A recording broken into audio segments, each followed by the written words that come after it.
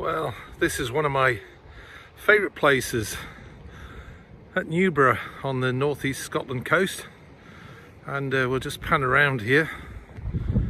And you can see on the far shore there's all the seals.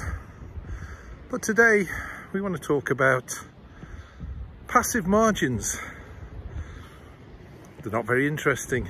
Just a lot of thermal subsidence and infill or are they? So today we're going to take a look at the Lisbon earthquake, a game changer.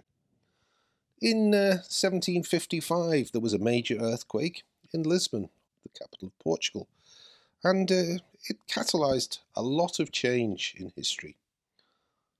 So here we are located on the Atlantic coast of Portugal and highlighted there is the, uh, the city of Lisbon.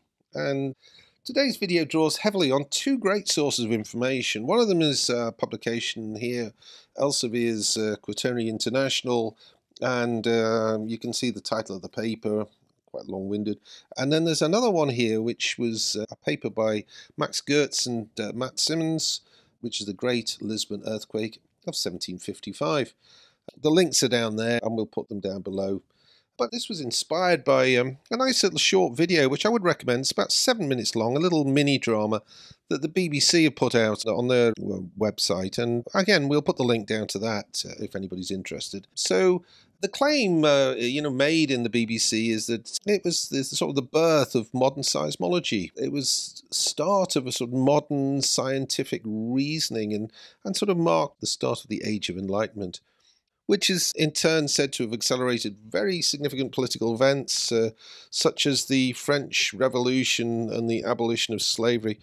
I think it goes on uh, to make more claims, which uh, might be a little bit over the top, but anyway, artistic license.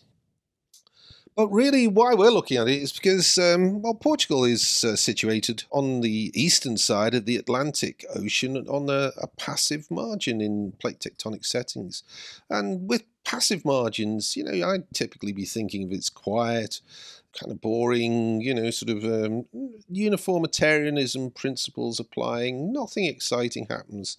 And, you know, that's the image that I might have. But, you know, a passive margin is a transition between the oceanic and continental lithosphere that is not an active plate margin. So in the diagrams on the left here, you can see the upwelling at, at the mid-Atlantic ridges, the thinning of the crust, the uh, thermal uplift, and then the spreading of the basaltic oceanic crust. As it moves away and the mechanisms are probably to do with the uh, convective cells and the sinking of the crust as it, as it cools. So um, all that good stuff. So how they differ to active margins? Well, you know, in the active margins, which are shown here on the left, and this, this example here from South America, you can see the oceanic crust coming along in the Pacific and starting to, to be subducted, to go back into the Earth's mantle. And as a result of that, typically we would find a, a trench, and then we would also find that we, we would get all this volcanism and the Andes are an example of this. Whereas the passive margin, basically uh, relatively quiescent uh, tectonic activity in that region. So just when you thought it was safe to go back in the water, well, on the 1st of November 1755 at 10.24 a.m., nobody expects, no, no, not that, nobody expects an 8.7 magnitude earthquake and an unusually long duration, six to seven minutes of shaking. Now, what happened next was not just the earthquake, there was a tsunami, and then there was a citywide fire. It's estimated that somewhere between 10,000 and 100,000 people were killed and that 85% of the buildings in Lisbon were either destroyed or heavily damaged. Now, this doesn't sound like the sort of thing you'd expect on a passive margin. So, it was called the start of the Age of Enlightenment, the birth date of seismology, and how do we know all this and how do we know so much about it? Well, there were no seismometers, and it was definitely before the IGY, the International Geophysics Year, which actually wasn't a year, it was more like 18 months, but never mind. It's probably as much down to uh, this gentleman here, the, the Marquis of Pombal, and he was the Prime Minister of, uh, of Portugal. And, uh, and that's his name, but I'm not going to try and butcher that But the Marquis, he basically started to gather information from all around Portugal and beyond to understand what the amount of damage was and used eyewitness reports. It's all captured in this fantastic paper, which uh, I've already mentioned, but it's worth a read. And some of the following pictures come from that. So you can see the actual epicenter of the quake, or as we'll go on to discuss, probably several epicenters, uh, was offshore and probably southwest of Lisbon.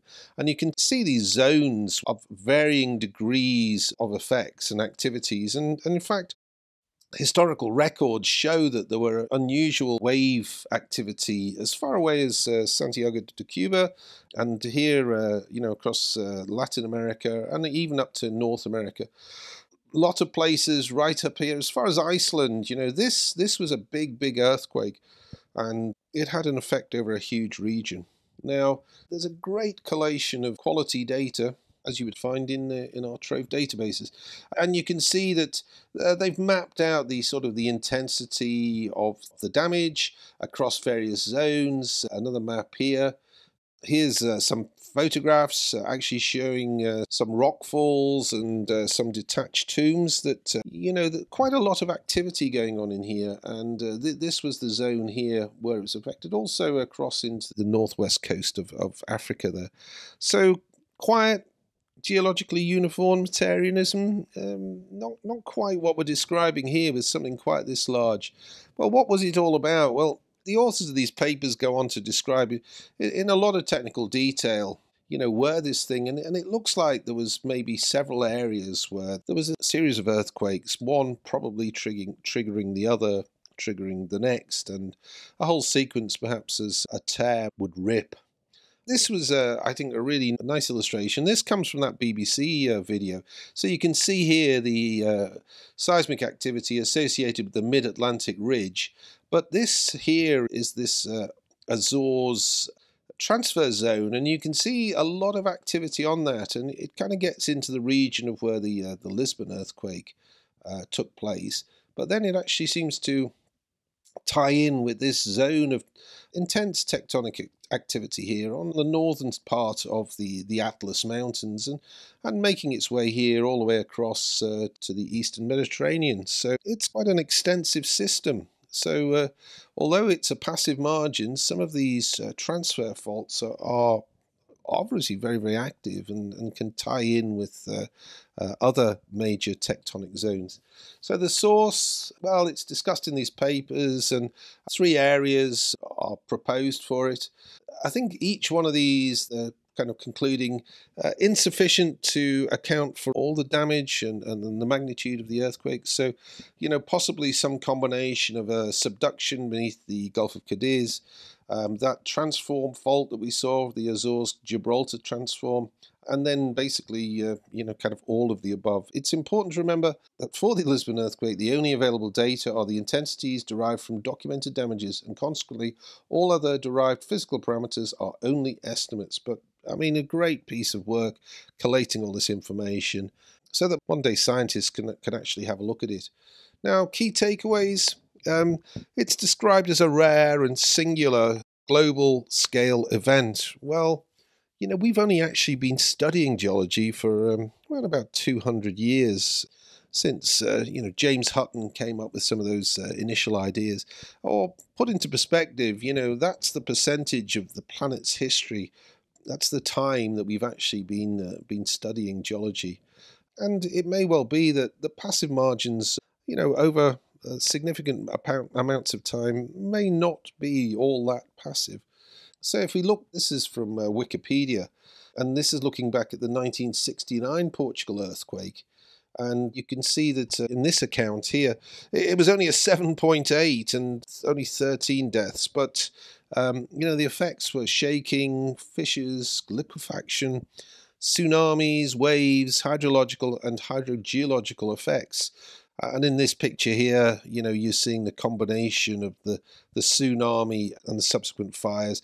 I think the fires down to the fact that people ran out of their houses to get away from them and they left candles burning and those candles would end up setting fire to places, etc. But, you know, if we look back, uh, you can see it's not just the 1755 nor the 1969. But we have other earthquakes in uh, 1531. Lisbon was destroyed. In the 17th century, there's uh, seven quakes recorded, and so on and so forth back through time. And certainly there's more missing from the list.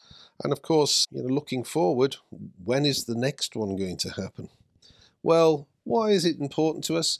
The study of Lisbon really led to modern day seismology and to seismic. And here on the on the right, you're seeing that, you know, the sort of scientists and engineers together have have gone out and, and now we can acquire really um, quite detailed images of the Earth's crust by actually um, acquiring uh, seismic sampling.